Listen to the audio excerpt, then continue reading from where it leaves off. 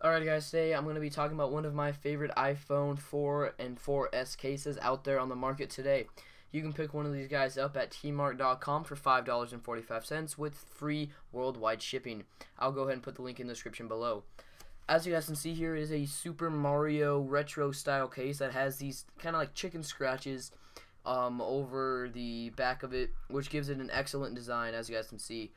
Uh, it does. It is five dollars and forty five cents. There are different uh, types of it. There are like a baby Super Mario. Uh, these just a whole bunch of different designs. Like it doesn't necessarily have to be Mario, but yeah. Um, so that was kind of just me rambling.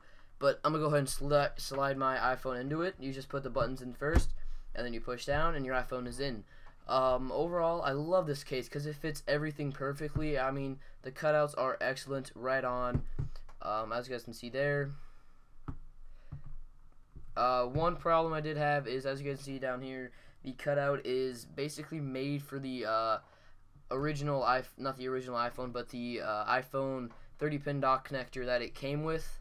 I do have a 10 foot uh, long cable, USB cable, that does not fit it because it is a knockoff and doesn't fit the um, whatever you want to call it, the the size of it. Uh, but overall, I love this case.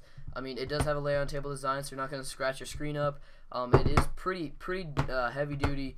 I mean, you throw down around, it's not going to break. It, it'll take some pretty high falls, but probably nothing over six feet on the concrete.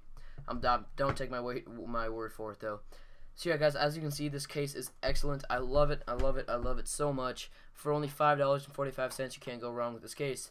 So yeah, guys, thanks for watching. Uh, make sure you rate, comment, and subscribe, and we'll catch you in the next video.